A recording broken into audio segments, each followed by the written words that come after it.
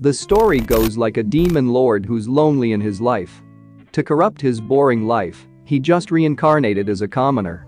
So far it's like the trend that recently going. But most intriguing is the character. He has a dream. He want to make friends like normal people, MC works hard for that, but all the time it's a failure. And the attempt he make is funny and entertaining. I'm pretty much like this character, a lively personality and he's up. After the many attempt with others he go for Ireena, the daughter elf. That scene more like a flirting scene to me. In the end our MC saved the heroine from the bad guys. Next thing we know she is on his bed.